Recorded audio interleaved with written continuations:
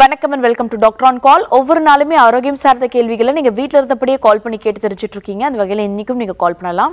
இன்றைக்கி நீங்கள் கேட்கக்கூடிய அனைத்து ஆரோக்கியம் சார்ந்த கேள்விகளுக்கும் முதலளிக்கிறதுக்காக ஆர்ஜிஆர் மருத்துவமனையில் டாக்டர் சாய் திவ்யா நம்ம கூட இணைஞ்சிருக்காங்க. வெல்கம் மேம் தேங்க்யூ பொரு பொதுவாகவே சருமத்தில் ஒரு பாதிப்பு ஏற்படுதுன்னா வந்துட்டு நார்மலான ஸ்கின் ப்ராப்ளமாக இருக்கும்னு சொல்லிட்டு வீட்லேயே ஹோம் ரெமடிஸ் கொஞ்சம் ஃபாலோ பண்ணுவாங்க. அதுக்கப்புறம் வந்துட்டு எக்ஸ்டர்னலாக மட்டும் அதுக்கு ஏதாவது அப்ளிகேஷன் அப்ளை பண்ணி அதை எப்படியாவது க்யூர் பண்ணிடலான்றது தான் பல பேர் முயற்சி பண்ணக்கூடிய விஷயமா இருக்குது ஆனால் சொரியாசஸ் என்ற நோயை பொறுத்த வரைக்கும் அது ஒன்ஸ் வந்துருச்சுன்னா உடலில் பிற பாகங்களுக்கு பரவறதுக்கான வாய்ப்புகள் அதிகமாக இருக்குது அது மட்டும் இல்லாமல் கொஞ்சம் அதிகப்படியாக ஆக ஆக என்ன ஆகுதுன்னா உங்களுக்கு ஒரு மன உளைச்சலே ஏற்படுதுன்னு சொல்லலாம். என்னடா நமக்கு ஸ்கின் இப்படி இருக்கேன்னு சொல்லிட்டு.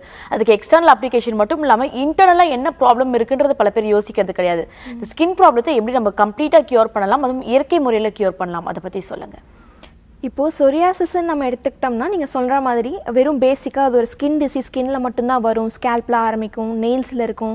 ஸோ தோலில் எல்லா இடங்கள்லையும் வரும். இது வந்து வெளியில் மட்டும் மெடிசன்ஸ் போட்டால் நம்ம சரி பண்ணிக்கலாம் அப்படின்ட்டு தான் நம்ம நினச்சிட்டு இருக்கோம்.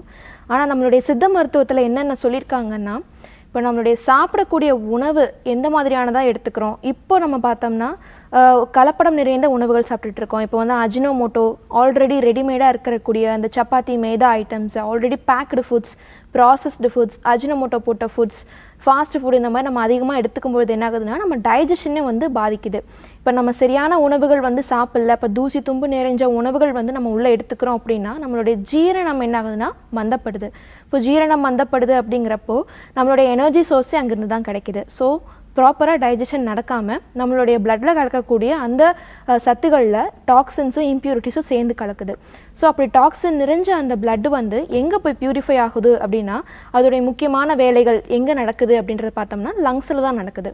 ஸோ நம்ம நுரையீரல் பார்த்தோம்னா இவ்வளோ அதிகப்படியான டாக்ஸின்ஸ் அதிகப்படியான ஓவர்லோடட் டாக்ஸின் இருக்கக்கூடிய பிளட்டை வந்து பியூரிஃபை பண்ண சிரமப்படும்.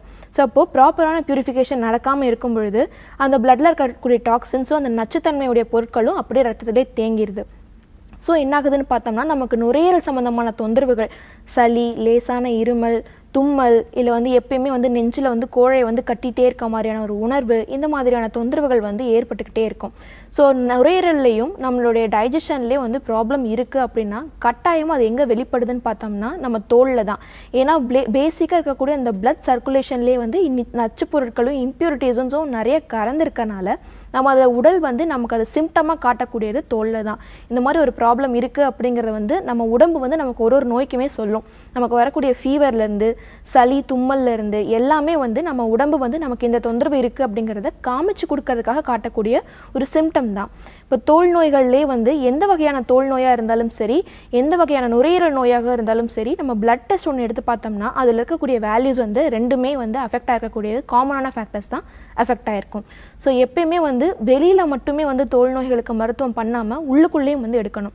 நம்ம சொரியாசிஸை பொறுத்த வரைக்கும் நம்ம சித்த மருத்துவத்தில் என்ன சொல்லியிருக்காங்கன்னா நம்மளுடைய பூர்வ கர்மம் நம்மளுடைய பிராப்த கர்மங்களால் நமக்கு ஏற்படக்கூடிய ஒரு நோய் ஒரு கர்மத்தின் காரணமாக ஏற்படக்கூடிய ஒரு நோய் தான் வந்து சொரியாசிஸ்ன்னு சொல்லிட்டு நம்முடைய சித்த மருத்துவமாகட்டும் நம்மளுடைய ஆயுர்வேத மருத்துவமாகட்டும் ரெண்டுலேயும் இந்த மாதிரி தான் சொல்லியிருக்காங்க.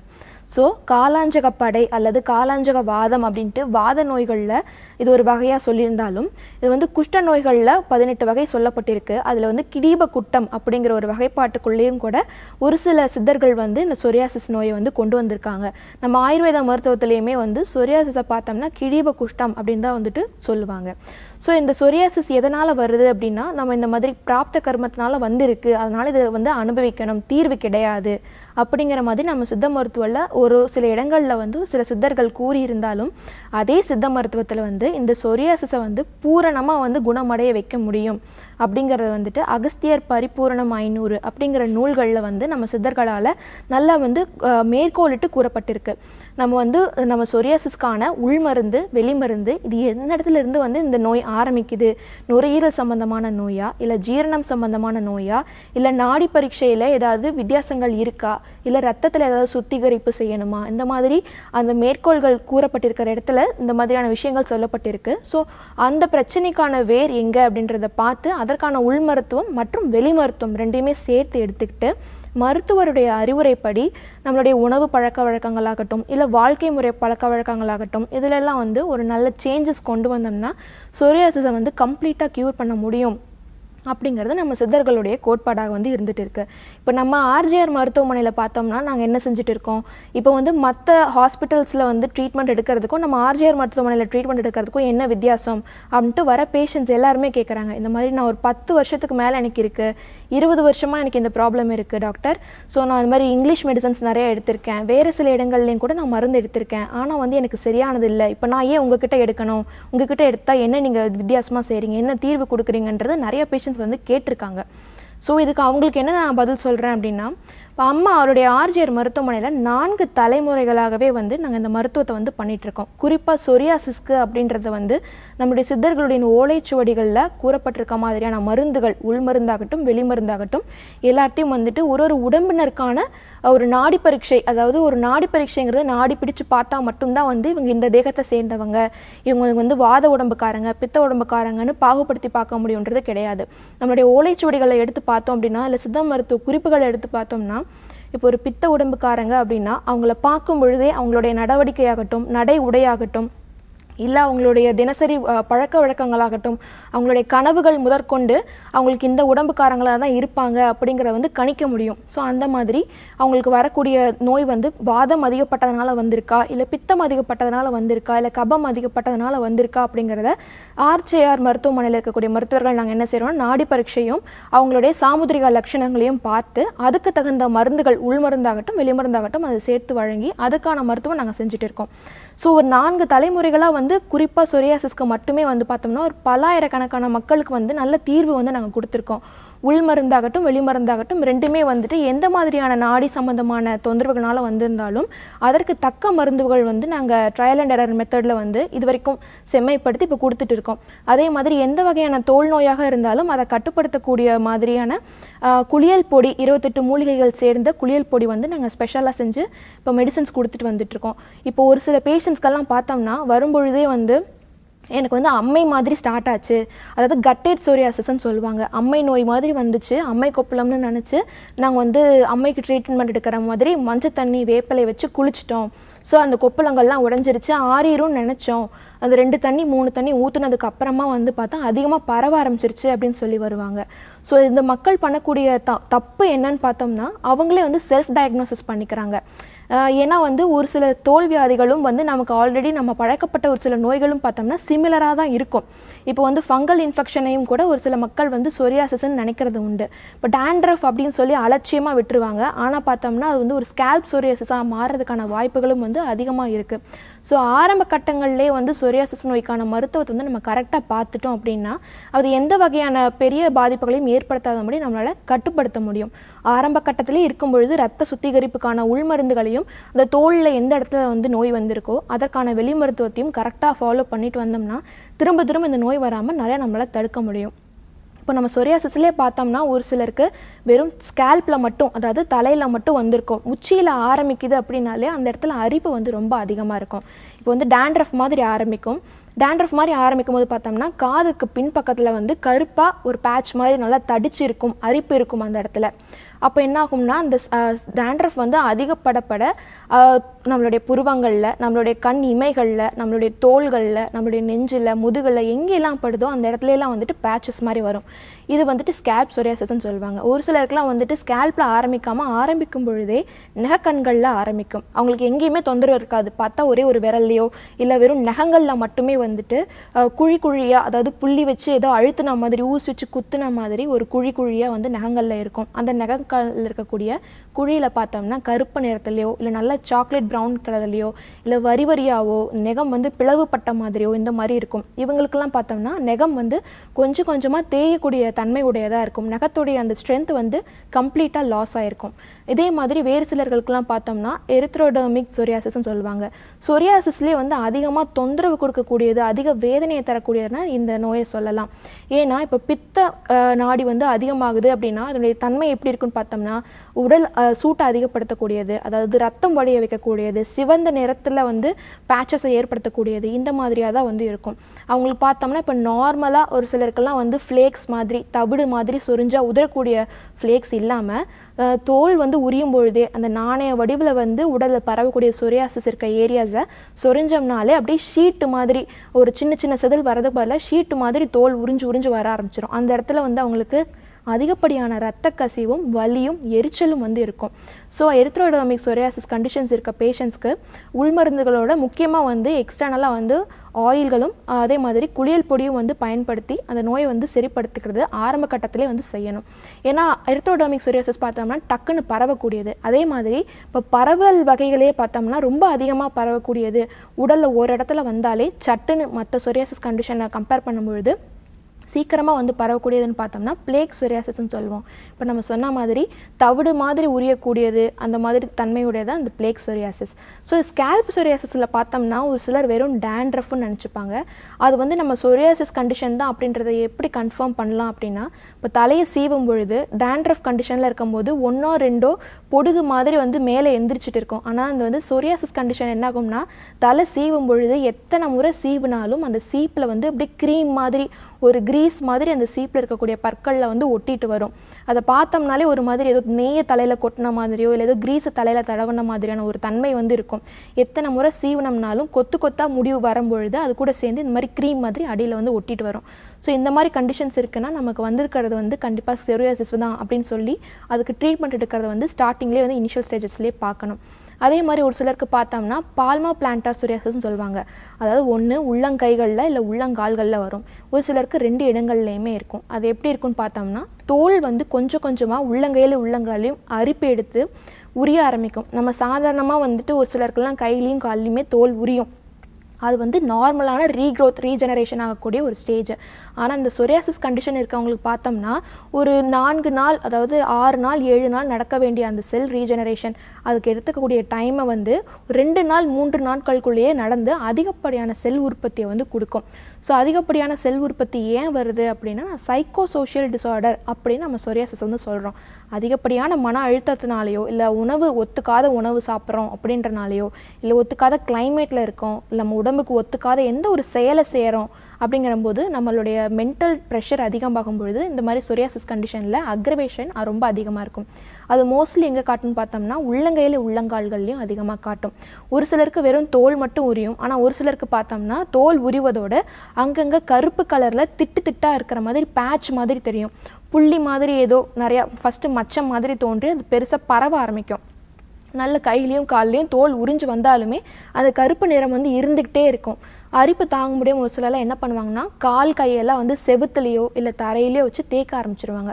ஸோ இந்த மாதிரி சொரியாசிஸ்லேயே பார்த்தோம்னா பல வகைகள் வந்து அதோடைய சிம்டம்ஸை பொறுத்தும் உடல் எந்த இடத்துல வருது அப்படிங்கிறத பொறுத்தும் வந்து நம்மளால் வகைப்படுத்த முடியும். உங்களோட ஃபர்ஸ்ட் காலர் இணைப்புல இருக்காங்க. அவங்க கிட்ட பேசலாம். ஹலோ ஹலோ வணக்கம் மேடம் வணக்கம். சொல்லுங்கம்மா உங்க பேர் என்ன? என்னோட பேர் மல்லிகா மேடம் சென்னையில இருந்து பேசுறேன். ஓகேம்மா இது யாருக்கான கேள்விமா எனக்கான கேள்விதான் மேடம் உங்க வயசு? Thirty madam okay fine doctor இணைப்பில் தான் இருக்காங்க. உங்களோட சந்தேகம் என்ன? சொல்லுங்கம்மா வணக்கம் மேடம் வணக்கம். சொரியாசிஸ் ப்ராப்ளம் இருக்கு எனக்கு. ஓகேம்மா எத்தனை வருஷமா இருக்கு? ஒரு ஃபைவ் இயர்ஸாவே இருக்கு. ஓகேம்மா எந்தெந்த இடத்துலலாம் இருக்கு? ஆண்ட்ரஃப் மாதிரி வந்தது ஸ்டார்டிங்ல அது மாதிரி நம்மளுக்கு வந்து அரிக்கும் போதோ தலையை குளிக்கும் போதோ அந்த மாதிரி செதில் செதிலா கொட்டிட்டே இருந்தது. சரிம்மா. அதுக்கப்புறம் அந்த இது எல்லாமே வந்து அந்த செதில் டேண்டப் கொட்டும் போது நம்மளுக்கு ஸ்கின்ல எல்லாம் பரவ ஆரம்பிச்சது. ஓகேம்மா. இப்போ முதுகுல எல்லாம் இருக்குங்களா? ஆ முதுகு அதாவது அந்த பொடுகு எங்கெங்கெல்லாம் படுதோ அங்கெல்லாம் வந்து நம்மளுக்கு அரிப்பு நமச்சல் அது மாதிரி வருது. சரிம்மா. கொப்பளை மாதிரி வந்து வந்துச்சா? இல்லை ஸ்டார்டிங்லேயே வந்து கருப்பு கலரில் மாதிரி வந்து அதுக்கப்புறம் உரிய ஆரம்பிச்சிச்சா தோல்? ஸ்டார்டிங்லேயே அந்த பிளாக் மார்க்ஸ் மாதிரி தான் மேம் இருந்தது. சரிங்கம்மா சரி. இப்போது இப்போ உங்களுக்கு இருக்க கண்டிஷன் என்னன்னு பார்த்தோம்னா ஸ்கேல்ப் சொரியாசிஸ் தான். இப்போ வந்து ஸ்டார்டிங் ஸ்டேஜஸில் வந்துட்டு டேண்ட்ரஃப் மாதிரி இருக்கும். ஆனால் வந்து நம்ம அதை சரிவர கவனிக்காமல் இருக்கோம். இப்போ டேண்ட்ரஃப்கான ட்ரீட்மெண்ட் மட்டும் எடுத்துகிட்டு இருக்கோம். எக்ஸ்டர்னலாக மட்டும் மெடிசன்ஸ் அப்ளை பண்ணுறோம் வெறும் ஹேர் வாஷ்க்கு ஷாம்பூ இந்த மாதிரி மட்டும் யூஸ் பண்ணுறோம் அப்படின்ற பட்சத்தில் அப்போதைக்கு அந்த ஹேர் வாஷ் பண்ணுற அந்த ஒரு நாள் ரெண்டு நாளுக்கு வந்து அந்த தொந்தரவு குறைஞ்ச மாதிரி இருக்கும். ஆனால் என்ன செய்யணும் ஆக்சுவலாக அப்படின்னா இப்போ டேண்ட்ரஃபாகவே இருந்தாலுமே நம்ம சித்த மருத்துவத்தில் குறிப்பிட்டிருக்க மாதிரியான கஷாயங்கள் வச்சு செய்யக்கூடிய தைலம் இப்போ அருகம்புல் தைலம் இல்லை அதற்கான வெட்பாலை தைலம் இந்த மாதிரி பல தைலங்கள் வந்து சொல்லியிருக்காங்க. அதை பயன்படுத்தி தலையில் வந்து ஊற வச்சு அதை வந்து ப்ராப்பராக அதற்கான குளியல் பொடியோ இல்லை சிகக்காயோ இல்லை அதற்கான ஷாம்பூஸோ வந்து பயன்படுத்தி யூஸ் பண்ணிட்டு வந்துட்டுருக்கோம் அப்படின்னா அந்த டேண்ட்ரஃபாக இருந்தாலுமே இல்லை வந்து சொரியாசிஸாக இருக்கும்பொழுது ஸ்டார்டிங் ஸ்டேஜஸாக இருந்தாலுமே அதை நம்மளால் வந்து மேற்படி பரவாமல் அவாய்ட் பண்ணிக்க முடியும். இப்போ ஸ்கேப் சொரியாசிஸ்ன்னு பார்த்தோம்னா ஒரு சிலருக்குலாம் பார்த்தா பேட்ச் வந்து தலையிலே வந்து பெருசாக இருக்கும். பேட்ச் வந்து தலையில் வந்து முடிகள் இருக்க இடங்கள் தாண்டி நம்ம நெற்றி நம்ம காது பகுதி ஒரு சிலருக்கு காதுக்கு உள்ளேலாம் வந்து டேண்ட்ரஃப் உதிரும் பொழுது இப்போ தூங்கும் பொழுது தலகாணியில் படுத்து தூங்குறோம் அப்படின்னா அந்த தலையிலேருந்து உதிரக்கூடிய அந்த பொடுகு மாதிரி இருக்கக்கூடிய அந்த ஸ்கேல்ஸ் காதுக்குள்ளேலாம் ஒரு சிலருக்கு போயிடும் காதுக்குள்ளே போயிடுச்சுன்னா அந்த இடத்துலையும் வந்து பேட்சஸை ஏற்படுத்தி காதுக்குள்ளேயும் அரிப்பு குத்தல் நமைச்சர் இந்த மாதிரி தொந்தரவுகள் வந்து கொடுத்துக்கிட்டே வரும். ஸோ இதுக்கு என்ன செய்யலாம் அப்படின்னா வந்து வெளி மருத்துவர் மட்டும் போட்டுட்டு வந்தோம்னா அது தீர்வு கிடைக்காது. ஸோ உள்ளுக்குள்ளே இருக்கக்கூடிய மருந்துகளையும் வந்து நம்ம எடுத்துக்கணும். இப்போ தினசரி வந்து நம்ம மஞ்சள் வந்து ஒரு ரெண்டு கிராம் இல்லை மூணு கிராம் உணவில் வந்து சேர்த்து எடுத்துக்கிறோம். இல்லை தனியாக வந்து எடுத்துக்கிறோம். வெறும் வயிற்றில் வந்து மஞ்சள் எடுத்துக்கிறோம் அப்படின்னா தோல் சம்பந்தமான நோய்களோ இல்லை ரத்தத்தில் வந்து இம்ப்யூரிட்டி சேரதுனால வரக்கூடிய நோய்களையோ வந்து நம்மளால் தவிர்க்க முடியும். இப்போ உணவு ப்ராப்பராக இல்லை அதனால வந்து செரிமானம் சரியாக கிடைக்கல.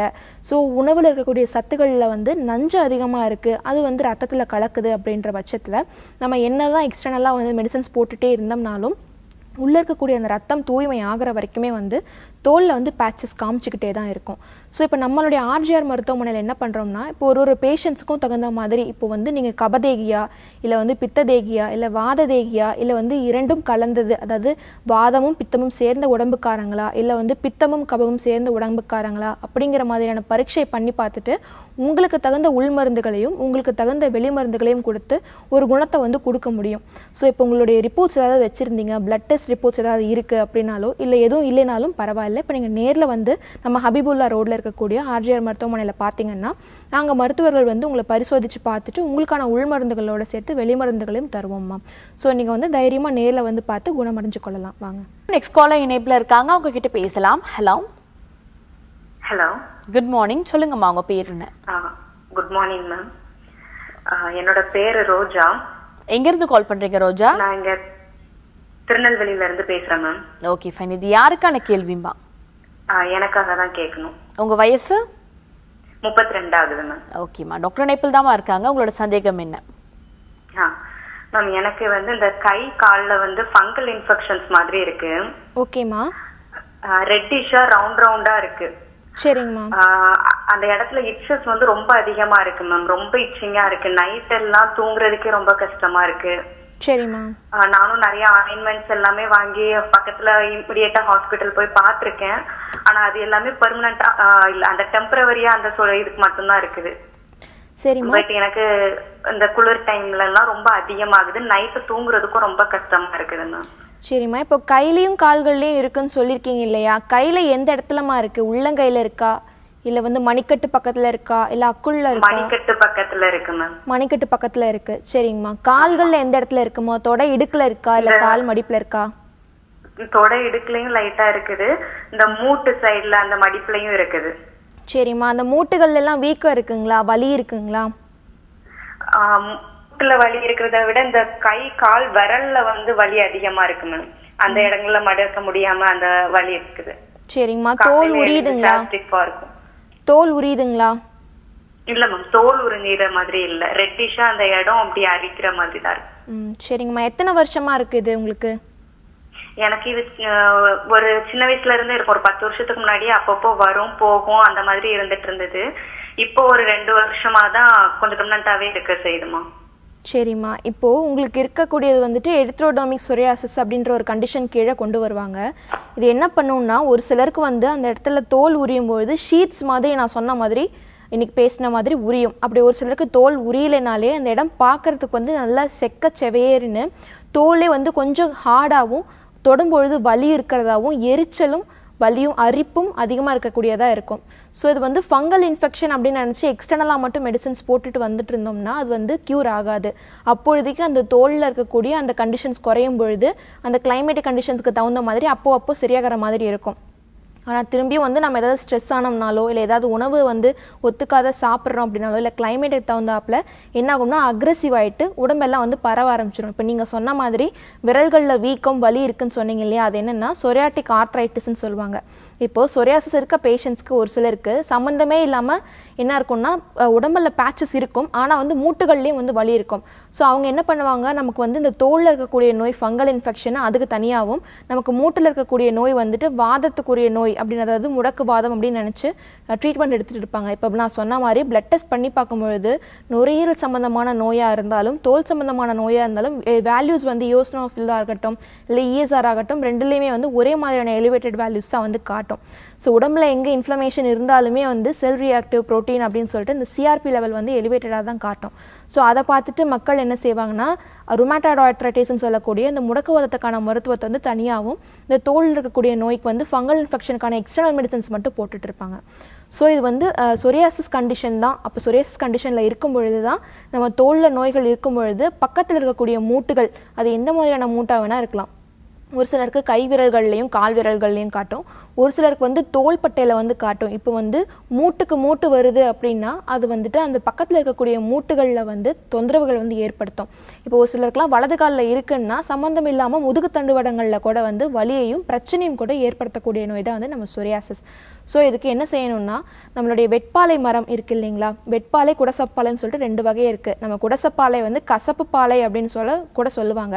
ஸோ இந்த கசப்பு பாலையை தவிர்த்துட்டு நம்மளுடைய வெட்பாலை இலைகள் வந்து பறிச்சுக்கலாம். ஸோ வெட்பாலையை எப்படி டிஃப்ரென்ஷியேட் பண்ணுறதுன்னு பார்த்தீங்கன்னா வெள்ளை நிறத்தில் வந்து மலர்கள் வந்து இருக்கக்கூடியது நம்மளுடைய வெட்பாலை.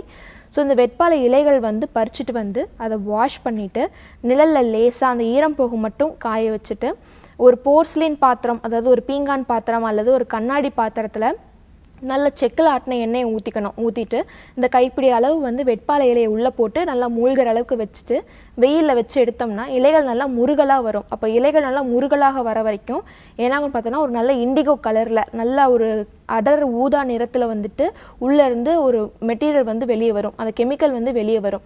அந்த என்ன பண்ணணும்னா வடிகட்டி எடுத்து நல்ல எந்தெந்த இடத்துல எல்லாம் வந்துட்டு உங்களுக்கு பேச்சஸ் இருக்கோ அந்த இடங்களிலெல்லாம் வந்து அப்ளை பண்ணிவிட்டு ரெகுலராக வந்துட்டு உடலுக்கு வந்து நல்லா தலைக்கு உச்சியிலேருந்து உள்ளங்கால் வரைக்கும் வாரத்தில் இருமுறையாவது ஸ்கின் ட்ரை ஆகாத அளவுக்கு எண்ணெய் வச்சு குளிச்சுட்டு வந்தோம்னா இந்த கண்டிஷனை வந்து கட்டுக்குள்ளே நம்மளால் கொண்டு வர முடியும். உங்களுக்கு தொடர்ந்து இந்த தொந்தரவு இருந்துக்கிட்டே இருக்குது இப்போ நீங்கள் வெட்பாலை தைலம் போட்டு பார்த்துருக்கீங்க நான் சொன்ன மாதிரி செஞ்சு பார்த்துருக்கீங்க. அப்படி இருந்தும் கொஞ்ச நேரம் தான் வந்து அந்த கொஞ்ச நாட்களுக்கு தான் வந்து குறையுது. திருப்பி வருதுன்னா திருநெல்வேலியிலே நம்மளுடைய ஆர்ஜிஆர் மருத்துவமனை இருக்குது நீங்கள் நேரில் வந்தீங்கன்னா அங்கே இருக்கக்கூடிய நம்மளுடைய மருத்துவர் உங்களுக்கு வந்து நாடி பரீட்சை பண்ணி பார்த்துட்டு உங்களுக்கு தகுந்த மருத்துவத்தை வந்து நாங்கள் செய்வோம். இப்போ நீங்கள் என்கிட்ட தான் வந்து பார்க்கணும் பேசணும்னு சொன்னீங்கன்னா நீங்கள் அங்கே இருக்கவங்க கிட்ட இன்ஃபார்ம் பண்ணீங்கன்னா போதும். கனெக்ட் பண்ணி கொடுப்பாங்க. நானே கூட உங்களுக்கு நல்ல ட்ரீட்மெண்ட் வந்து ப்ரிஸ்கிரைப் பண்ணுறேன் வாங்கம்மா தேங்க்யூம்மா கால் பண்ணதுக்கு. நெக்ஸ்ட் காலர் இணைப்பில் இருக்காங்க. அவங்க கிட்ட பேசலாம் hello hello good morning good morning ma'am சொல்லுங்கம்மா உங்க பேர் என்ன? மேம் எனக்கு இல்ல மேம் எங்க அம்மாவுக்காக பார்க்கணும். ஓகே ஃபைன்மா நீங்க எந்த ஊர்ல இருந்து கால் பண்றீங்கம்மா? கும்பகோணம் மேம் உங்க அம்மாவோட வயசு என்னம்மா? ஐம்பத்தி அஞ்சு மேம் உங்களோட சந்தேகத்தை கேட்கலாம். டாக்டர் இணைப்பில் தான் இருக்காங்க. சொல்லுங்கம்மா. வணக்கம் டாக்டர் வணக்கம். எங்க அம்மாவுக்கு ஒரு 55 வயசு இருக்கும். அஞ்சு வருஷத்துக்கு முன்னாடியே கர்ப்பப்பையில எடுத்துட்டோம். அதுக்கப்புறம் அவங்களுக்கு மூட்டு வலி தான் கை வலிலாம் அதிகமாக ஆரம்பிச்சிருச்சு. ஓகேம்மா எந்த ஒரு வேலை செஞ்சாலுமே ரொம்ப வீக்கம் கொடுத்துருக்கும். அப்புறம் பஸ்ல எல்லாம் டிராவல் பண்ணாங்கன்னா ஒரு மாதிரியா வீக்கம் கொடுத்துருக்கும் ஊறி போன மாதிரி இருக்கும் காலு. சரிம்மா. எந்த தொந்தரவுக்காக கர்ப்பப்பை ரிமூவ் பண்ணாங்கம்மா? கர்ப்பப்பையில கட்டி இருக்குன்னு ரிமூவ் பண்ணோம் மேம் அது வந்து அப்போ எங்களுக்கு தெரியாது. ரிமூவ் பண்ணாம அது கரைக்கணுங்கிறதுக்கு. சோ அதனால ஆபரேஷன் பண்ணிட்டோம். ஆனா இப்ப வந்து ரொம்ப அவங்களுக்கு கை கால் வலி எது செஞ்சாலுமே அவங்க டயர்ட் ஆகுறது இந்த மாதிரி பிரச்சனை எல்லாம் இருக்கும். அம்மாவுக்கு தைராய்டு தொந்தரவு இருக்காம்மா? இல்ல மேம் தைராய்டு எதுவுமே இல்ல. செக் பண்ணிட்டோம். இப்போ என்ன ஏஜ் ஆகுதா உங்களுக்கு ஐம்பத்தஞ்சு மேம் சரிம்மா. இப்போது கர்ப்பப்பையில் வந்து கட்டிகள் நீர் கட்டிகள் இருக்குது பிசிஓடி பிரச்சனை இருக்குது அப்படின்னா அதுக்கு லேசர் தான் தீர்வுன்னு நிறைய பேர் வந்து நினச்சிட்டு இருக்காங்க. ஸோ இப்போ லேசர் பண்ணுறதுக்கு முன்னாடி அதை ஈஸியாக வந்து கரைக்க முடியும். நம்ம சித்த மருத்துவத்திலையும் சரி ஆயுர்வேத மருத்துவத்திலையும் சரி அதற்கான உள்மருந்துகள் வந்து எக்ஸலண்ட்டாகவே நம்ம சித்தர்கள் வந்து சொல்லியிருக்காங்க. ஸோ வந்து இப்போ கர்ப்பப்பை ரிமூவ் பண்ணுறாங்க அப்படின்னா என்ன ஆகும்னா நம்ம பெண்களை பொறுத்த வரைக்கும் கிடைக்க வேண்டிய ஹார்மோன்ஸ் முக்கியமான ஹார்மோன்ஸ்னு பார்த்தோம்னா ப்ரொஜெஸ்ட்ரான் மற்றும் ஈஸ்ட்ரோஜனும் சொல்லக்கூடிய இந்த ஹார்மோன்ஸ் வந்து கர்ப்பப்பை அதுக்கு பக்கத்தில் இருக்கக்கூடிய அந்த சினைப்பை அதாவது முட்டை உருவாகக்கூடிய அந்த இரண்டு பைகள் இதிலிருந்து தான் வந்து கிடைச்சிட்டு இருக்கும். ஸோ அதை மொத்தமாக ரிமூவ் பண்ணுறப்போ கால்சியம் குறைபாடு வந்து உடலில் ரொம்ப அதிகரிக்கும். ஸோ இந்த கால்சியம் குறைபாடு வந்து அதிகமாகும் பொழுது நம்ம உடலில் இருக்கக்கூடிய தசைகள்லையும் மூட்டுகள்லேயும் வந்து தேய்மானம் ஏற்பட்டு மூட்டு வழியாகவும் தசை பிடிப்புகளும் வந்து ஏற்படும். ஒரு சிலருக்கெல்லாம் பார்த்தோம்னா கர்ப்பப்பை ரிமூவ் பண்ணதுக்கப்புறமா தைராய்டு தொந்தரவுகளும் வந்து அது தொடர்ந்து வரும். இரவு நேரங்களெல்லாம் பார்த்தோம்னா அந்த கெண்டக்கால் சதை வந்து இழுத்து பிடிக்கிற மாதிரி சுண்டி இழுக்கிறது மாதிரி ஏதோ தூக்கமே கலையிற அளவுக்கு ஒரு வலி வந்து ஏற்படும். இது எல்லாமே பார்த்தோம்னா கால்சியம் குறைபாடுனால தான் வந்து ஏற்படும். ஸோ இதுக்கு நம்ம என்ன செய்யலாம்னா நம்ம சித்த மருத்துவத்தில் சொல்லியிருக்க மாதிரி முடக்கத்தான் கீரை இருக்குது இல்லைங்களா? அதை வந்து நம்ம வேலிகளில் வந்து வளர்ந்துருக்கும். அது ஒரு கொடி வகையை சேர்ந்ததாக இருக்கும். அதுலேயும் வந்து வெள்ளை நிற மலர்கள் தான் இருக்கும். முடக்கத்தான் கீரை வந்து ஒரு கைப்பிடி அளவு பறிச்சுட்டு வந்து அதை நல்லா சுத்தம் பண்ணிவிட்டு நம்ம தோசை இல்லை அடை எப்படி செய்கிறோமோ அந்த மாதிரி அதை ஒரு கைப்பிடி அளவு அரைச்சிட்டு இரண்டு இல்லை மூன்று தோசை அதுக்கு தகுந்த மாதிரி செஞ்சு தினமும் சாப்பிட்டுட்டு வரோம். அப்படி இல்லைன்னா மூன்று நாளைக்கு ஒரு முறை கிடைக்கிறப்பெல்லாம் சாப்பிட்டுட்டு வரோம்னா வலி வந்து நல்லா குறையும். அந்த வாதம் வந்து கட்டுப்படும் பொழுது நல்லா வலியும் குறையும். அதே மாதிரி பிரண்டையில் வந்து கிடச்சிச்சு அப்படின்னா அதனுடைய தோலெல்லாம் நீக்கிட்டு அதோட அரிப்பு போகிறதுக்காக மோர்லேயோ இல்லை புளித்தண்ணிலையோ ஊற வச்சுட்டு புளி வந்து ரொம்ப கம்மியான அளவில் போட்டுட்டு தொக்கு மாதிரி செஞ்சு சாப்பிட்டுட்டு வந்தோம்னா கால்சியம் சத்து நிறையவே கிடைக்கும் பெண்களை பொறுத்த வரைக்கும். அதே மாதிரி நம்ம வெந்தயக்கீரை இல்லைன்னா வெந்தயத்தை வந்து முளை கட்டி சாப்பிட்டுட்டு வரும்பொழுது நம்மளுடைய இந்த மூட்டு தேய்மான பிரச்சனை பெண்களுக்கு குறிப்பாக வரக்கூடிய இந்த மூட்டு தேய்மான பிரச்சனை இல்லை அந்த ஹார்மோனல் குறைபாடாக வரக்கூடிய இந்த கருப்பை கட்டி இதெல்லாம் வந்து கண்ட்ரோல்குள்ளே கொண்டு வர முடியும். உங்களுக்கு தொந்தரவு தொடர்ந்து வந்துட்டே இருக்குன்னா சென்னையில் நம்மளுடைய ஆர்ஜிஆர் மருத்துவமனை ஹபீபுல்லா ரோட்டில் இருக்குது நேரா நீங்கள் ரிப்போர்ட்ஸ் எடுத்துகிட்டு வந்தீங்க அப்படின்னா உங்கள் அம்மாவுக்கு நாடி பரீட்சை பண்ணி பார்த்துட்டு எந்த மூட்டுகளில் வீக்கம் இருக்குது இல்லை அதுக்கு ஏதாவது டெஸ்ட் பண்ணணுமா அப்படின்றத பார்த்துட்டு தகுந்த மாதிரியான உள் மருந்துகள் மற்றும் வெளி மருந்துகள் வந்து தருவோம். நீங்கள் வந்துட்டு குணமடைஞ்சிக்கலாம். வாங்கம்மா தேங்க்யூமா கால் பண்ணதுக்கு. நெக்ஸ்ட் காலர் இணைப்பில் இருக்காங்க. உங்ககிட்ட பேசலாம். ஹலோ ஹலோ வணக்கம் மேம் வணக்கம். சொல்லுங்கம்மா உங்க பேர் என்ன என் பேர் அஹ், கிருஷ்ணவேணி விருதுநகர்ல இருந்து பேசுறேன் மேடம் ஓகேம்மா இது யாருக்கான கேள்விமா எனக்கு எனக்கு தான் மேடம் உங்க வயசு? இருபத்தி ஏழு மேடம் ஓகேம்மா டாக்டர் இணைப்பில் தாம்மா இருக்காங்க. உங்களோட சந்தேகத்தை கேட்கலாம். சொல்லுங்கம்மா குட் மார்னிங் மேம் குட் மார்னிங்மா சொல்லுங்கள் மேம் கண்ணில் மைக்கெட்டி வந்து டூ த்ரீ மந்த்ஸா மாறி மாறி வந்துட்டே இருக்கு. எதனால இருக்கும்? என்னம்மா கண்ணில் மைக்கட்டி மாதிரி. சரிங்கம்மா. அம்மா நீங்க டிவி பார்த்து பேசிட்டு இருக்கீங்கம்மா. டிவி சத்தத்தை குறைச்சிட்டு பேசலாமா? அப்பதான் உங்க நீங்க சொல்லக்கூடிய கேள்வி வந்துட்டு டாக்டருக்கும் தெளிவா புரியும். டாக்டர் சொல்லக்கூடிய பதில் உங்களுக்கு தெளிவா புரியும். ஓகேவா ஓகே தொடர்ச்சியா பேசலாம். இப்போ கண்களில் வந்து கட்டி மாதிரி ஏற்படுது அப்படின்னா உங்களுக்கு கண்ணில் பீழை வடியுதுங்களா? அதிகப்படியான பூளை சேருதுங்களா கண்ணில் இல்ல மேடம் இல்ல மேடம் அப்படி இல்ல இல்ல. சீல் மாதிரி எந்த வடிவும் இல்லை. கட்டி மாதிரி வளைஞ்சு ஒரு வாரமா வலிக்குது. அப்புறம் வீங்கி கண் சிவந்து இருக்குங்களா? இல்ல மேடம் அரிப்பு இருக்குங்களா? வலி மட்டும் இருக்கு. வலி மட்டும்தான் இருக்கு. இப்போ என்னன்னா ஒரு சிலருக்கு வந்து உடல்ல வந்து சூடு ரொம்ப அதிகமாகுது. இப்போ கண்களுக்கு வந்து அதிகப்படியான வேலை கொடுக்குறோம் அப்படிங்கிறப்ப அவங்களுக்கு கண்ணில் வந்து இந்த மாதிரி கட்டிகள் ஏற்படும். ஒரு சிலருக்கு பார்த்தோம்னா இந்த மகரந்தங்களோ இல்லை ஏதாவது நம்ம பியூட்டி ப்ராடக்ட்ஸ் யூஸ் பண்ணுறோம் மஸ்காரா யூஸ் பண்ணுறோம் ஐலைனர் யூஸ் பண்ணுறோம் அப்படின்னா அவங்களுக்கு வந்து அதில் இருக்கக்கூடிய ஸ்போர்ட்ஸ் அதனால் வரக்கூடிய இன்ஃபெக்ஷன் அதனால் வந்து வைரல் பாக்டீரியா இன்ஃபெக்ஷனோ இல்லை ஃபங்கல் இன்ஃபெக்ஷனாலேயோ கண் ரெட் ஆயிட்டு நீர் வடியும் ஒரு சிலருக்கு. ஒரு சிலருக்கு அந்த மாதிரி இல்லாமல் நம்ம யூஸ் பண்ணுற ப்ராடக்ட்ஸ் வந்து நம்ம கண்களில் இருக்கக்கூடிய அந்த மயிர் இழைகளில் இருக்கக்கூடிய சின்ன சின்ன ஓட்டைகளில் போய் அடைச்சிக்கிச்சுன்னா அங்கேருந்து நமக்கு ஒரு ப்ராப்பரான ஒரு செக்ரீஷன் வரும். இந்த கண் இமைகள் ரெண்டும் ஒட்டி போகாமல் நல்லா கண்ணை மூடி திறக்கிறதுக்கு ஒரு ஆயில் இப்படி நம்ம மிஷினுக்கெல்லாம் விடுறோம். இப்போ தையல் மிஷினே எடுத்துக்கிட்டோம்னா எண்ணெய் விட்டால் தான் அந்த ஜாயின்ஸில் இருக்கிற அந்த மிஷின் ப்ராப்பராக ரன் ஆகும். ப்ராப்பராக வந்து எந்த ஒரு தொந்தரவு இல்லாமல் மிஷின் ஓடும். அந்த மாதிரி நம்ம கண்களுக்குமே வந்து இமைகள் ரெண்டு ஒட்டிக்காமல் இருக்கிறதுக்காகவும் ப்ராப்பராக ஃபங்க்ஷன் ஆகிறதுக்காகவும் ஒரு எண்ணெய் சுரப்பு வந்து எப்போதுமே இருந்துகிட்டே இருக்கும். இப்போ கண்களில் ஏதாவது இந்த மாதிரி மை மாதிரியோ இல்லை எங்கேயாவது வெளியே போயிட்டு வரோம் ஒரு புகை இருக்கக்கூடிய இடத்துக்கு போயிட்டு வரோம் ஸ்மோக் இருக்கக்கூடிய இடத்துக்கு டிராஃபிக்கில் போயிட்டு வரோம்னா முகத்தையும் கண்களையும் ஏன் கழுவணும் அப்படின்றது நம்ம சித்த மருத்துவத்தில் இன்சிஸ்ட் பண்ணுறாங்கன்னா இதனால தான் ஸோ ஏதாவது போயிட்டு சின்ன சின்ன பார்ட்டிகல்ஸ் சின்ன சின்ன தூசி போய் அடைச்சிக்கிச்சினாலே அந்த செக்ரீஷன் சரியாக வெளியே வராமல் அந்த எண்ணெய் சுரப்பு உள்ளேயே தேங்கிரும். எண்ணெய் சுரப்பு வந்து உள்ளேயே தேங்கிருச்சுன்னா அது ஒரு கட்டி மாதிரி ஆயிட்டு வலியையும் கண்ணுக்கு வந்து ஒரு அழுத்தத்தையும் கொடுத்துட்டே இருக்கும்.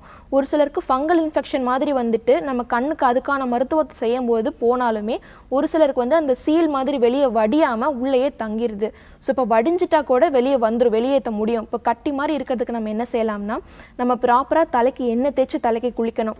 இப்போ உடம்பு சூடு அதிகமாக இருந்தாலுமே வந்து அந்த கட்டிகள் வந்து ப்ராப்பராக வெளியே ஏறாமல் உள்ளேயே வந்துட்டு அடைச்சிட்டு இருக்கும். ஸோ வாரம் இருமுறை வந்து நல்லெண்ணெய் தேய்ச்சி தலைக்கு குளிக்கிறத வழக்கமாக வச்சுக்கணும். அதே மாதிரி எங்கே போயிட்டு வந்தாலும் தண்ணியை வந்து ஒரு லேசான சூட்டில் அதாவது ரொம்ப சூடான தண்ணியை வச்சு நம்ம கண்ணையோ முகத்தையோ இல்லை தலையையோ வந்து எப்போவுமே வாஷ் பண்ணக்கூடாது. ஸோ ரொம்ப ரொம்ப இளம் சூடு அப்படி இல்லை முடியலன்னா நல்ல குளிர்ச்சியான நீர் ஐஸ் வாட்டர் அந்த மாதிரி எடுத்துக்கூட கண்களை வந்து ப்ராப்பராக வாஷ் பண்ணிட்டு வரலாம்.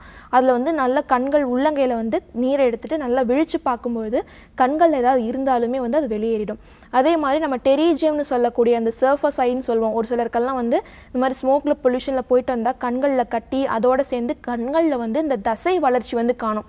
பிங்க் கலரில் அப்படியே ஒரு படலாம் மாதிரி வளர்ந்துட்டு இருக்கும். இதுக்கு வந்து நம்மளுடைய சித்த மருத்துவத்தில் படிகாரம் அப்படிங்கிறது வந்து கிடைக்கும். ஸோ அதை வந்துட்டு எடுத்து அதுக்கான சுத்தி முறைகள்னு ஒன்று இருக்குது ஸோ அதை ப்ராப்பராக சுத்தி பண்ணிவிட்டு அளவுப்படி வந்து தண்ணியில் கலந்து அதை கண்களில் தினமும் வந்து காமிச்சிட்டு வரோம் அப்படின்ற பட்சத்தில் அந்த கண்ணில் இருக்கக்கூடிய தசை வளர்ச்சியும் அந்த கட்டிகளும் வந்து கரையும்.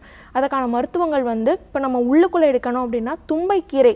அந்த மழைக்காலத்தில் வந்து தும்பக்கீரை அதிகமாக கிடைக்கும். அதே மாதிரி கரிசலாங்கண்ணி கீரையும் அதிகமாக கிடைக்கும். இந்த ரெண்டு கீரைகளும் கிடைக்கும் பொழுது அதை வாங்கி ப்ராப்பராக சுத்தம் பண்ணி சமைச்சு உள்ளுக்குள்ளே எடுத்துகிட்டு வந்துட்டு இருக்கோம்னா தொடர்ந்து கண் சம்மந்தமான நோய்களோ இல்லை லிவர் சம்மந்தமான நோய்களோ இல்லை உடல் சூடு சம்மந்தமான நோய்களோ வராமல் நம்மளால் தவிர்த்துக்க முடியும்.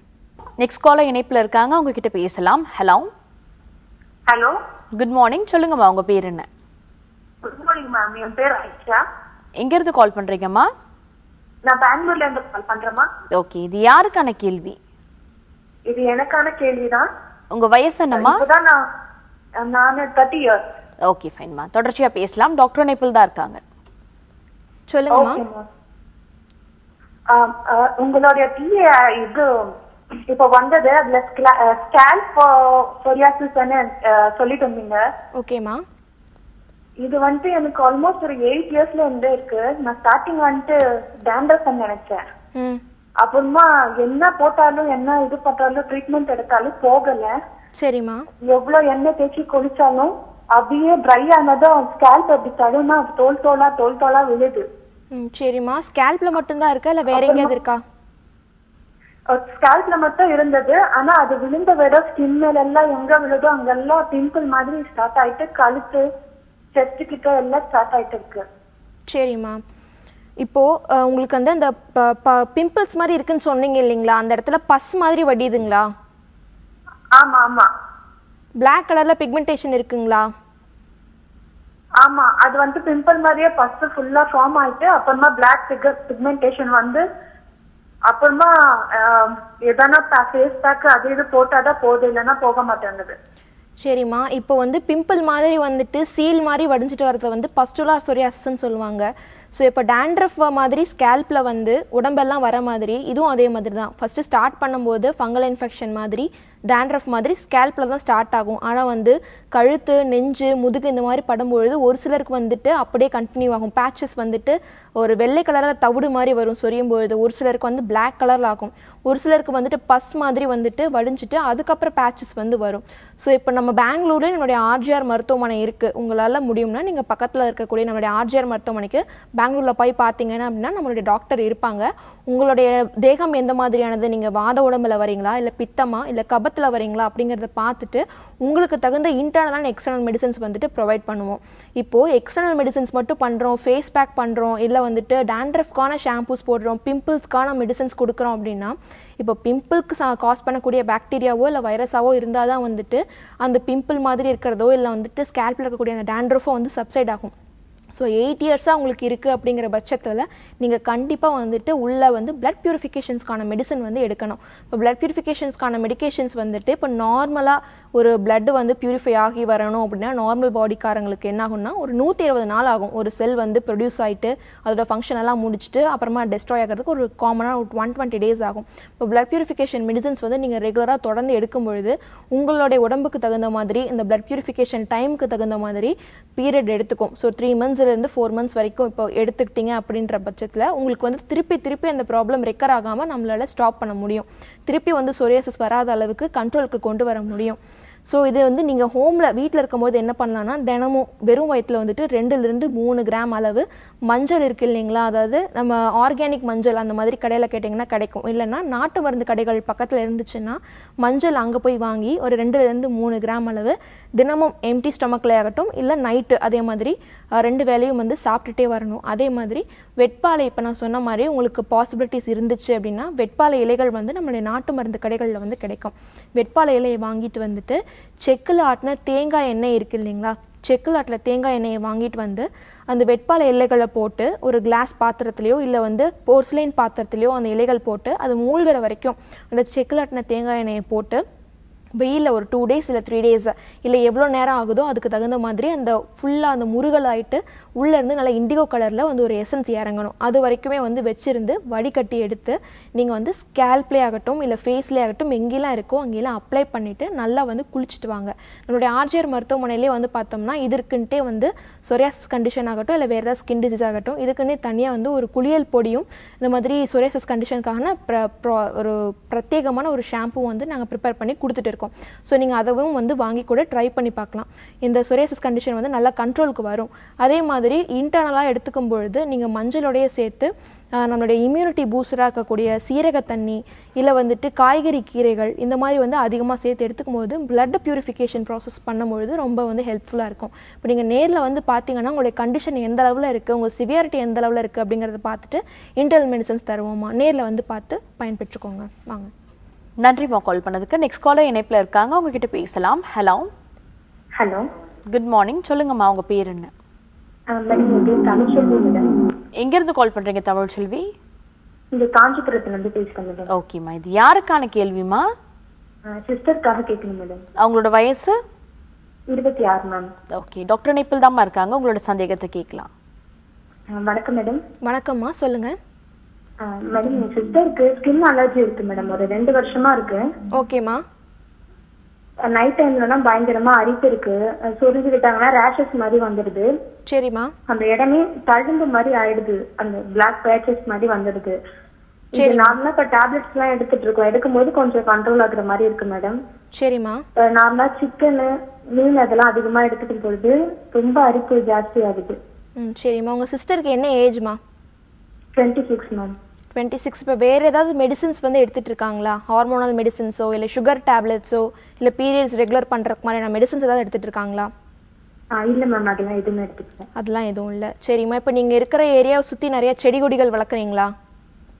ஆ இருக்கு மேம் இப்போது ஒரு சிலருக்கு இப்போ நீங்கள் சொல்கிறது நார்மலான அலர்ஜிக் கண்டிஷன் தான். இப்போ ஒரு சிலருக்கு நம்ம சாப்பிடக்கூடிய சாப்பாடில் வந்துட்டு ஏதாவது ஒத்துக்காத ஒரு உணவுப் பொருள் நம்மளே அறியாமல் நம்ம எடுத்துகிட்டு இருப்போம். ஒரு சிலருக்கு பார்த்தோம்னா நார்மல் வேர்க்கடலை வந்து அலர்ஜியாக இருக்கும். ஸோ வேர்க்கடலை அலர்ஜியாக இருக்கும்போது அது சார்ந்த வந்து ஆயில் இந்த கடலை எண்ணெய் பயன்படுத்தி சமைச்சிட்டு வரீங்க அப்படின்னா தினமுமே வந்து இந்த அரிப்புங்கிறது இருந்துகிட்டே இருக்கும். இல்லை நீங்கள் செடி கொடிகள் வளர்க்குறீங்க அப்படின்னா நல்ல ஆரோக்கியமாக தான் நான் சாப்பிட்றேன். நான் வந்து கிராமத்துலேருந்து வரேன். சுத்தமான காற்று இருக்குது இங்கே நான் வந்து சுத்தமான ஏரியாவில் தான் இருக்கேன். இருந்தும் நீங்கள் வந்து சுத்தமான உணவு சாப்பிட்டா தான் வந்து இதெல்லாம் வராதுன்னு சொல்கிறீங்களே எனக்கு இருக்கே ஏன் அப்படின்னு கேட்பாங்க. இப்போ அது ஏன் அப்படின்னு பார்த்தோம்னா நம்மளை சுற்றி ஒரு சில வகையான செடி கொடிகள் வளர்க்கும் பொழுது அதிலிருந்து வரக்கூடிய அந்த சுனைன்னு சொல்லுவோம். அதாவது இந்த காய்கறிகள் வெண்டைக்காயெல்லாம் பார்த்தா முழங்கு இருக்கும் பார்த்தீங்களா? அந்த மாதிரி ஒரு சில செடிகளில் வந்து இந்த சுனைகள் இருக்கும். அப்படி இல்லைன்னா ஒரு சில செடிகளுடைய மலர்களில் ஒரு போ- ஒரு வகையான போலன் கிரெயின்ஸ் வந்து வெளியே செக்ரெட் ஆகிட்டு வந்துட்டு இருக்கும். அந்த போலன் கிரெயின்ஸ் கூட ஒரு சிலர் வந்து உள்ளே சுவாசிக்கும் பொழுதோ இல்லை தோலில் படும் பொழுதோ இல்லை அந்த இலைகள் தெரியாமல் நம்ம மேலே உரசும் பொழுதோ கூட இந்த மாதிரி அரிப்பு அலர்ஜிலாம் வரும்.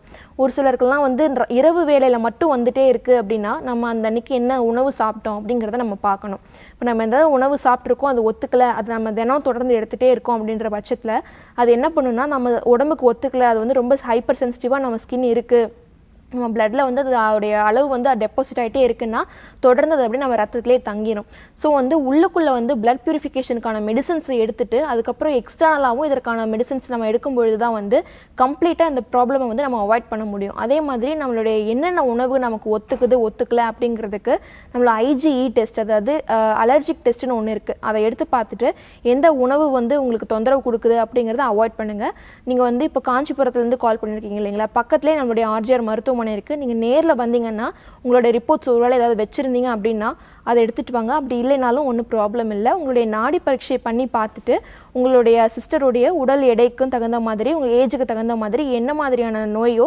அதற்கு தகுந்த மருந்துகள் உள்ளுக்கும் வெளியிலையும் வந்து தருவாங்க.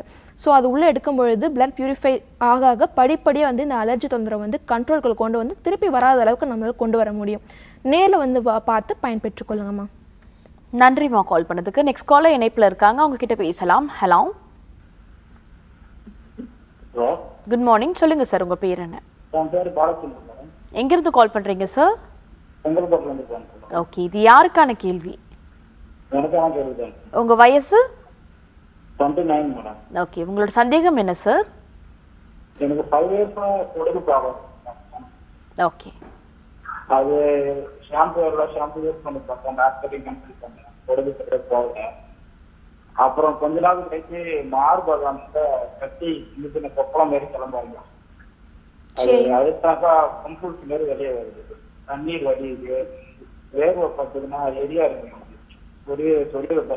நடிப்பு பண்ணிட்டு சரி நெஞ்சில் மட்டும்தான் இருக்குங்களா? இல்லை முதுகுலையும் இருக்குங்களா? லைட்டா முதுகாண்டையும் கைத்தா மட்டும் லைட்டா கிளம்புது. இப்பதான் அதிகமாகும் அந்த இடத்த கிளம்ப இருக்கு ஃபர்ஸ்ட் இல்ல இப்ப அதிகமா அந்த இடத்துல ஆரம்பிக்கும் சரி. இப்போ என்னன்னா இப்போ டேண்ட்ரஃப் மாதிரி இருக்கும் பொழுதே நீங்க வந்து உள்ள ஏதாவது இன்டர்னல் மெடிசன்ஸ் எடுத்தீங்களா? சரி சார் இப்போ வந்து ஒரு சிலருக்கு என்னன்னா ஸ்டார்டிங் ஸ்டேஜஸில் வந்துட்டு டேண்ட்ரஃப் மாதிரி ஆரம்பிக்கும். அப்போ வந்து ஒரு சிலருக்கு தலையில் வந்து ஹீட்டுக்கு வந்து கொப்பளங்கள்லாம் வந்துடும் அப்போ கொப்பளம் வந்து அதுலேருந்து டேண்ட்ரஃப் மாதிரி இருக்க மாதிரி இருக்கும். ஸோ என்ன பண்ணுவாங்க? நமக்கு சாதாரண உடல் சூடு தான் அதிகமாக இருக்குது நம்ம நிறைய தண்ணி குடிச்சிக்கலாம். எண்ணெயில் தேய்ச்சி நல்லா குளிச்சிக்கலாம் அப்படின்னு பண்ணோம்னா நமக்கு சரியாயிடும் அப்படின்ற ஒரு மைண்ட் செட்டில் இருப்பாங்க. ஆனால் அந்த கொப்பளத்தே வந்துட்டு ஹீட்னால் வரக்கூடியது இல்லை சொரியாட்டிக் கண்டிஷன்னால் வரக்கூடியது அப்படிங்கிறத எப்படி நம்ம டிஃப்ரென்ஷியேட் பண்ணணும்னா அந்த கொப்பளங்கள் வந்து சொரியும் போது அதில் வந்து பக்கு மாதிரி உறிஞ்சி வந்துக்கிட்டே இருக்கும். என்ன தான் பண்ணாலும் ஒரு கண்டிஷனில் வந்துட்டு அந்த ஒரு டைமில் எண்ணெய் குளியெல்லாம் எடுக்கும்போது அது அமுங்குற மாதிரி இருக்கும். ஆனாலும் அதை எப்போ ஃபீல் பண்ணி பார்த்தாலும் அந்த இடத்துல வந்து இருக்கிற மாதிரி இருக்கும். பக்கு மாதிரி உதிர்ந்துட்டே இருக்கும். ஸோ அது எங்கெல்லாம் படுதோ அந்த இடங்கள்ல எல்லாம் வந்துட்டு கொஞ்சம் கொஞ்சமாக கொப்பளம் மாதிரி வந்து ஒரு சிலருக்கு சீல் மாதிரி வடிஞ்சு அப்புறம் ஒரு நாணய வடிவில் வந்து பரவ ஆரம்பிக்கும்.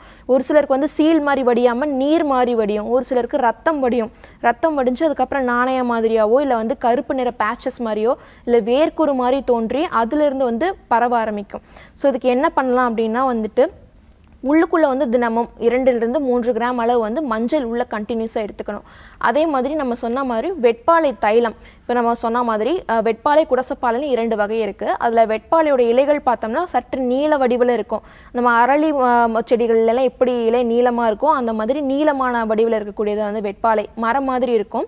ஸோ வெள்ளை நிற மலர்கள் இருக்கக்கூடியது. ஸோ அந்த வெட்பாலை இலைகளை பறிச்சுட்டு வந்து அதை சுத்தம் பண்ணி செக்கில் ஆட்டின நல்லெண்ணெயில் வந்து வச்சு ஒரு கிளாஸ் பாத்திரத்தில் அந்த இலைகள் மூழ்கிற அளவுக்கு நல்லெண்ணெய் இல்லை நம்மளுடைய செக்கில் ஆட்டின தேங்காய் எண்ணெயோ இல்லை நல்லெண்ணெயோ விட்டு வெயிலில் காட்டும் பொழுது நல்லா வந்து எசன்ஸ் இறங்கி வரும். அதை எசன்ஸை உடலில் அப்ளை பண்ணி அதை வந்து தகுந்த குளியல் பொடி இப்போ நம்மளுடைய ஆர்ஜிஆர் மருத்துவமனையிலேயே வந்துட்டு சொரியாசிஸ் கண்டிஷன்ஸ்க்கோ இல்லை வந்து வேறு சில ஸ்கின் அலர்ஜி கண்டிஷன்ஸ்க்கோ அதுக்கு தகுந்த வந்து குளியல் தைலமும் குளியல் பொடியும் வந்து இருந்துகிட்ருக்கு நீங்கள் நேரில் வந்து பார்த்து கூட உங்கள் நாடி பரீட்சை பண்ணி பார்த்துட்டு உங்களுக்கான மருந்துகள் வந்து இன்டர்னலாகவும் எக்ஸ்டர்னலாகவும் வாங்கி யூஸ் பண்ணிட்டு வந்தீங்கன்னா இந்த வெட்பாலை தைலம் செய்கிற கஷ்டமாக இருக்குன்னா இதை நீங்கள் செஞ்சுட்டு வந்தீங்கன்னா கூட உங்களுடைய சொரியாசிஸ் கண்டிஷனை வந்து கண்ட்ரோலுக்குள்ளே கொண்டு வர முடியும். அதே மாதிரி எண்ணெய் குளியலை வந்து ரெகுலராக வச்சுக்கோங்க. ஸ்கின் வந்து ட்ரை ஆகாத மாதிரி பார்த்துக்கோங்க. தேங்க்யூ சார் கால் பண்ணதுக்கு. டாக்டர் வந்து ஒன் ஹவர்ஃபுல்லாக ஆரோக்கியம் சார்ந்த எல்லா கேள்விக்குமே தெளிவாக பதில் அளிச்சிங்க. நன்றி. நன்றி. நீங்களும் வீட்டில் இருந்தபடி ஆரோக்கியம் சார்ந்த கேள்விகள்லாம் கேட்டு தெரிஞ்சுட்டு இருப்பீங்க. இதே போல நாளைக்கும் ஒரு டாக்டர் உங்களை சந்திக்கிறேன். அண்டலன் கட்டி கட்டலிங் பேஃப் யூ ஆல்